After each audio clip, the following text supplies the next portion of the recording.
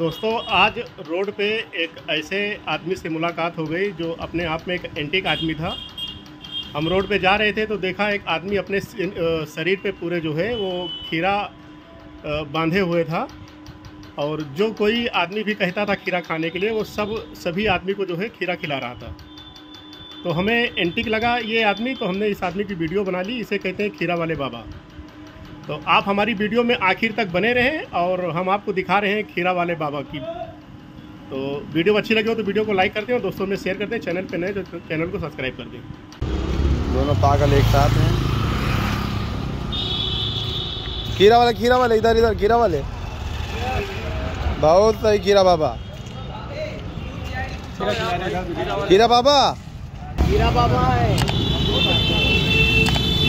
आपने बहुत से बाबाओं को देखा कि वाले आपने बहुत से बाबाओं को देखा होगा लेकिन आज तक आपने खीरा वाले बाबा को नहीं देखा होगा।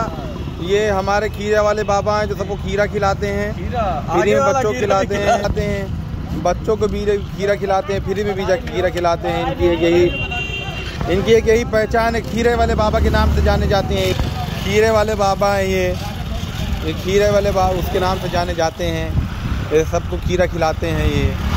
खीरे वाले बाबा। वाले बाबा।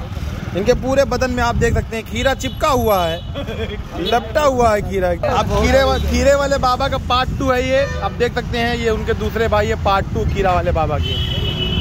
पार्ट टू अब वो यहाँ से यहाँ तक पहुँच गए हैं। खाओ।